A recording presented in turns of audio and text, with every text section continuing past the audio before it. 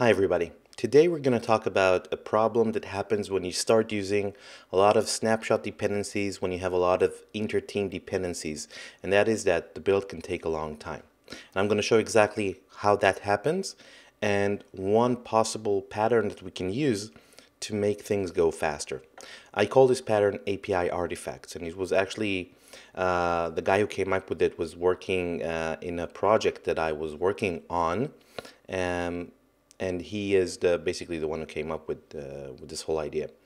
Um, so, a tip, hat tip to Ståle from one of the projects that I've been working on.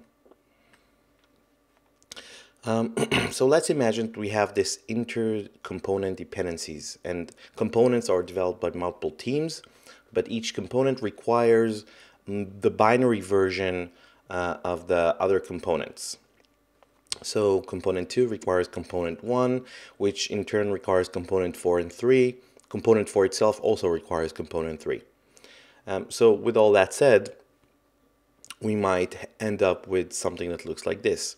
We have for each component um, its own little parallel universe, as we've seen. Each component has its own build um, chain, uh, and each component also has a tip build configuration, which we use to get the latest and best artifacts from the component after having been through all of the tests. Uh, now, if we do have that, and let's say we want to have component 2 built, this is the dependency graph we're going to have. Okay, to build component 2 CI, then we would need the tip of component 1, which requires the tip of component 4 and 3, etc., etc. Um, now, this kind of looks okay. Unfortunately, if you remember, a tip it has a snapshot dependency on all of the steps before it, which means that when you invoke uh, uh, the tip build, it will it might actually invoke all the steps before it, and that might take a long time if all of the steps, the steps actually have to run. So instead of just running the tip, we actually run all the steps for each component. And that means that to build component 2, we might need to wait a full cycle for component 1, 4, and 3. That is way too long to wait. Um, as someone said, the time to wait is too damn high, or something. Um, so how do we fix this?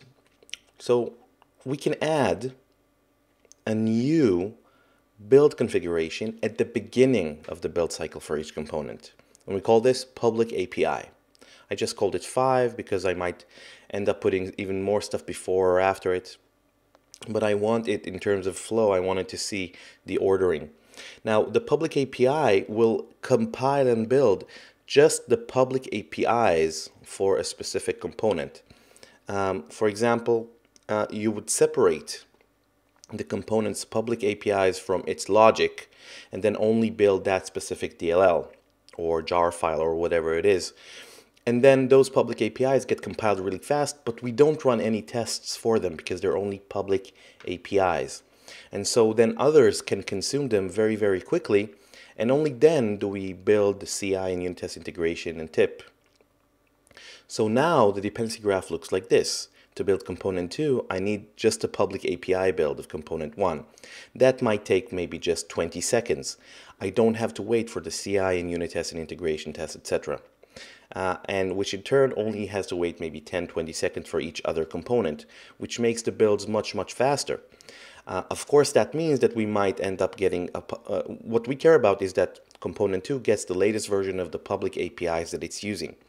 Because each component has its own little build cycle and build chain, if that component ends up not working correctly, that component's build will end up failing and the end the, the final build and deploy cycle for all the components together will fail. But to build a specific component, I don't have to wait a long time. If we look at the bigger picture, it might end up looking, looking like this. At the bottom, we can see the deploy chain and the system integration get has snapshot dependency on all the tip build configurations which is what we want because we want, when we deploy something, we want to make sure that all components have been passing all their tests. However, for each component, just to build that component to compile, we don't have to get all the tests from all the other components. So we just get the public API build configuration. if in the system integration we deploy we deploy the tip, the tip will also invoke the public API.